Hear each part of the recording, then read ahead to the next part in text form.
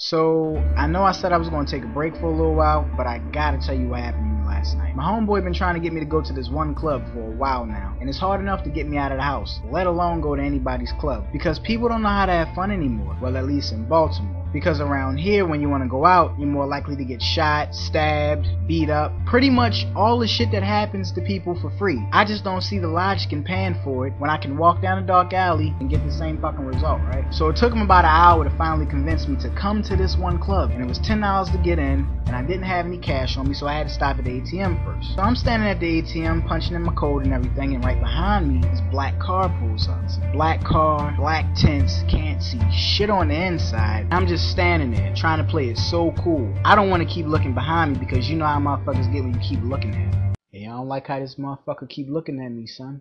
Nah, fuck that. I'm about to say something. He look, he look over here one more time. He look over here one more time and say, yup.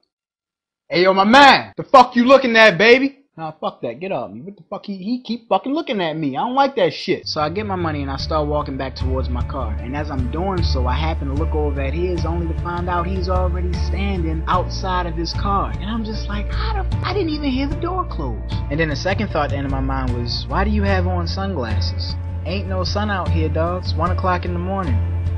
And I'm walking to my car and he's looking at me and I'm looking at him and then he speaks and he say, what's up? I look back at him and I say, nothing? So at that point, he starts making his way to the ATM machine, and then I get inside my car. So now I'm scrambling for my keys, trying to find the right one, and then the whole time I'm just thinking to myself, don't come to my car, don't come to my car, don't come to my car. And as soon as I look up, guess who's walking over to my car?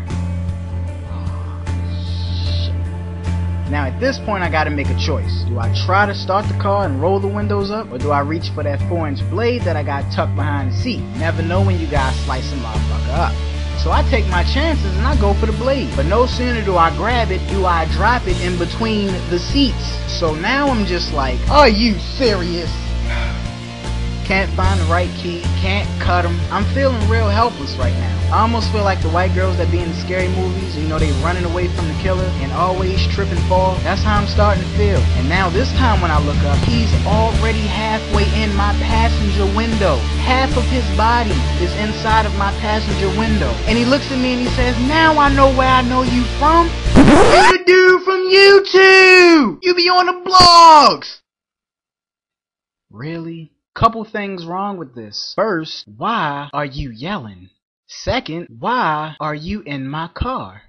Third, why are you in my fucking car? Like where where were you raised that you do stuff like you don't jump in somebody's car at one o'clock in the morning? What is wrong with you? But in all seriousness, he was a cool dude. Just scared me a little bit. People find the most strangest times to want to notice my face. Don't know what I'm talking about? Check out the previous video, link in the side. And I didn't even get his name. I'm sorry I didn't ask your name. You have to excuse me. I can't shit my pants and ask who I'm speaking with at the same time. Just can't multitask like that. You know what? I'm all about giving and receiving the love, love my fans to death, but please don't make me shit on myself because it's just not cool. You know?